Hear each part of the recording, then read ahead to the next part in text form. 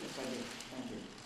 Thank you very much. You, uh, I don't know if you've heard the earlier uh, testimony or not, but we use a, a timing system which will uh, give you a red light in five minutes, and the light will turn yellow after four minutes, uh, so that you can try to uh, give us your testimony if possible in five minutes. Thank you. Chairman Levin? Member Coburn, uh, and members of the subcommittee. Thank you for the invitation to appear before you today as you examine some of the causes and consequences of the financial crisis. became overly complex.